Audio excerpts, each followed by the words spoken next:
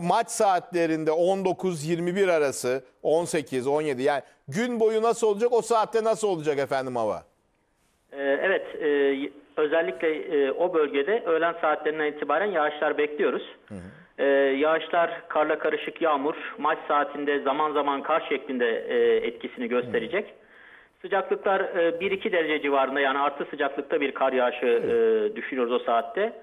E, yalnız rüzgarın özellikle kuzey yönlerden, kuzey kuzeybatı e, yönlerden e, kuvvetli ve fırtına şeklinde e, esmesini de bekliyoruz. işte. Yani o saatler için e, yağışlı ve e, yer yer fırtına şeklinde rüzgarlı bir hava beklentimiz var. Ama bir kar örtüsü herhalde olmayacak gibi. Yani yüksek bir örtü, evet yüksek bir örtü e, beklentimiz yok açıkçası. Anladım. O bölgede yok. Ama Anladım. İstanbul'un e, batısına doğru gittikçe e, kar örtüsü yükselebilir. Öyle mi? Evet. Yani şey tarafı. E, Çatalca, Ça- e, evet, Silivri'nin yüksek Silivri tarafı. O taraflara doğru gittikçe Peki. evet kar Çok, artabilir. çok teşekkür ediyoruz. Dolayısıyla e, maç tehlike altında değil gibi gözüküyor şu anda. Koşullar zorlu ama oynanabilecek bir durum gibi gözüküyor. Evet efendim. Çok teşekkür ediyoruz. İyi Yayınlar akşamlar diliyorum, sağ olun. diliyoruz. Şimdi sana o zaman bununla ilgili bir şey anlatayım başımdan geçen. Ne kadar var reklama? Bir dakika sorayım hocam. Bir dakika var. Tamam. Buyur hocam. Hakemim. Ben de anı çok hakemim. İzmir'de bir maç Efes Oteli'nde kalıyorum. Saunaya girdim öğlen saat 12 falan. Çünkü bir seans sauna çok güzel olur var. Maç akşam 7'de mi ne? Abi bir yağmur. Kulakları şınlasın. Togay abi geldi saunaya. Ya Erman dedi oynanır mı maç? Vallahi abi dedim. Bakacağız. Dışarı çıktım. Kemal Zorlu'yu aradım.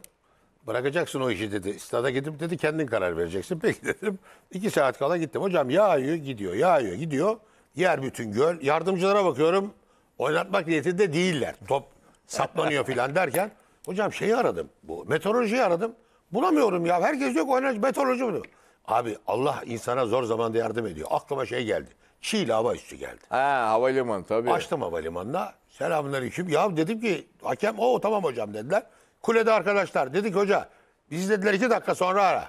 Aradım. Dedi ki hocam dedi maça başlayacaksın. Bir yağmur iniyor dedi oraya stadın üstüne. Belki çıkamayacaksınız dedi. Allah sizden razı olsun dedim. Geldim maçı iptal ettim.